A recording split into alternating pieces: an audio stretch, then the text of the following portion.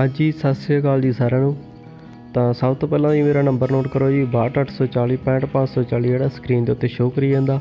ਤੁਸੀਂ ਖੇਤੀਬਾੜੀ ਦਾ ਟਰੈਕਟਰ, ਕੋਈ ਵੀ ਜਿਹੜੀ ਚੀਜ਼ ਆ ਉਹ ਸੇਲ ਕਰਵਾਉਣੀ ਆ ਤਾਂ ਮੇਰੇ ਇਸ ਨੂੰ, WhatsApp ਨੰਬਰ ਤੇ ਭੇਜ ਸਕਦੇ ਹੋ ਜੀ ਫੁੱਲ ਉਹਦੀ ਬਣਦੀ ਜਿਹੜੀ ਜਾਣਕਾਰੀ ਤੁਸੀਂ ਦੇ ਸਕਦੇ ਹੋ। ਤਾਂ ਅੱਜ ਗੱਲ ਕਰਦੇ ਹਾਂ ਵੀਰੇ ਆਪਾਂ AC 450 ਤੁਸੀਂ ਕੰਡੀਸ਼ਨ ਦੇਖ ਸਕਦੇ ਹੋ ਟਰੈਕਟਰ ਦੀ। ਬਹੁਤ ਹੀ ਸੋਹਣਾ ਤੇ ਸਾਫ਼ ਤੇ ਸੁਥਰਾ ਟਰੈਕਟਰ ਜਿਹੜਾ ਉਹ ਰੱਖਿਆ ਹੋਇਆ ਵੀਰ ਨੇ। ਤੇ ਟਾਇਰਾਂ ਟੂਰਾਂ ਦੀ ਤੁਸੀਂ ਕੰਡੀਸ਼ਨ ਦੇਖ ਸਕਦੇ ਹੋ। ਤੇ ਇੱਕ ਮੈਂ ਤੁਹਾਨੂੰ ਬੇਨਤੀ ਕਰਨਾ ਚਾਹੁੰਦਾ ਵੀ ਜਦੋਂ ਤੁਸੀਂ ਕੋਈ ਵੀ ਵੀਰ ਜਿਹੜਾ ਐਡ ਉਹ ਭੇਜਦਾ ਹੈ ਨਾ ਆਪਣੇ WhatsApp ਨੰਬਰ ਤੇ, ਤਾਂ ਕਿਰਪਾ ਕਰਕੇ ਯਾਰ ਤੁਸੀਂ ਪਲੀਜ਼ ਯਾਰ ਨਾ ਮੋਬਾਈਲ ਟੇਢਾ ਕਰਕੇ ਹੀ ਵੀਡੀਓ ਬਣਾਇਆ ਕਰੋ ਤਾਂ ਕਿ ਜਿਹੜੀ ਫੁੱਲ ਸਕਰੀਨ ਦੇ ਵਿੱਚ ਉਹ ਆਪਾਂ ਨੂੰ ਵੀਡੀਓ ਦੇਖਣ ਨੂੰ ਮਿਲੇ, ਠੀਕ ਹੈ ਜੀ?